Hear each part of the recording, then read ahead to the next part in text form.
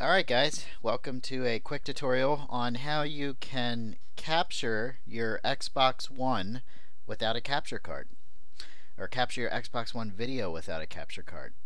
So the first thing you're going to need is a Windows 10 computer. Laptop, desktop, doesn't matter, and it can't be slow as crap. so just make sure it's a decent computer. You need to have the Windows 10 computer.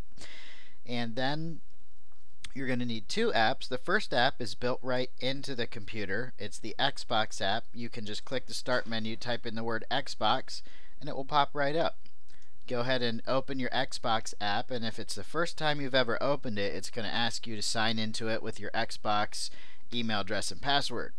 I'm already signed in here, so um, and I'm already connected to my Xbox. So we're just going to click the File button and if you haven't connected to your Xbox yet, just click connect down here and it will find your Xbox One and connect to it. Since I'm already connected, I'll just go ahead and click on it and show you what happens. You'll get an option to stream. And this is what you want to do. This brings your Xbox One video right to your computer. And uh, this is this is exactly what you need in order to capture it. You can adjust the quality of the video right here, set it to high, medium, low, depending on how fast your network is. And uh, that's it. You could actually play the game from here, but there is a little bit of screen lag, you know, when you're doing a capture like this. So let's uh, quit out of this game. Let me see. I'll stay in it for now. We're going to stop the streaming.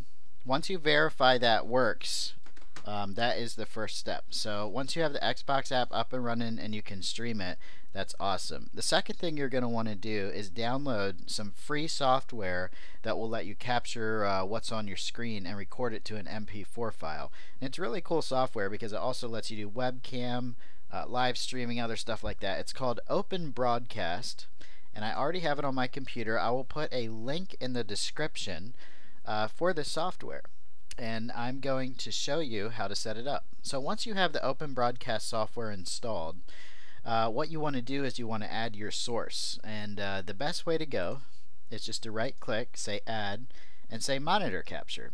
Now this is going to capture you know everything on your screen. So we're going to um, put the monitor capture on. Uh, make sure your resolution is set to 1280 by 720 or 1920 by 1080. This is something you'll need to adjust in your computer settings first, not the open broadcast settings. That is the 720p and 1920 by 1080 is 1080p. So we're going to leave this the way it is uh, and basically just say OK. You can define options like capture mouse cursor or whatever if you want. Um, and we'll just say OK. And that's really all we need for the source because we're just going to capture what's on the screen.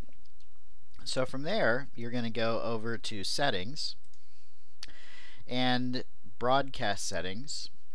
And this is where you're going to choose, you want to choose the mode for File Output Only.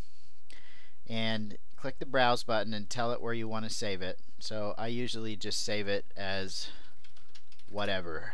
So it's going to save where you tell it to go as an MP4 file.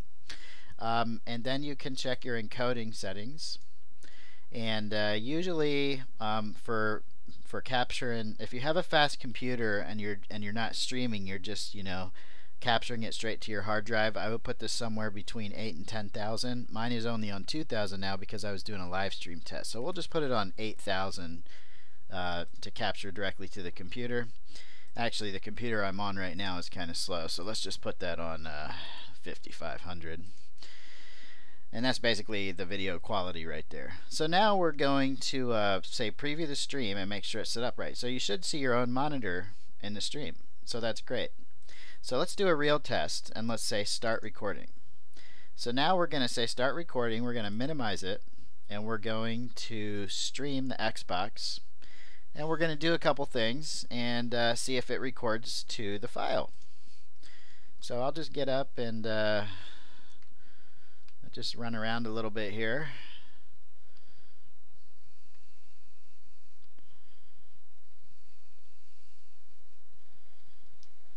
Jump up and down. Shoot my gun a couple times. Throw a grenade at this chopper. And go back down. So let's see, let's uh let's say stop streaming. let's go back to our open broadcast software and let's say stop recording. And uh, let's go to where we saved that, which I believe was, okay, my videos folder. We'll just copy and paste that. And let's see what it looks like. So this is our video that we uh, just recorded.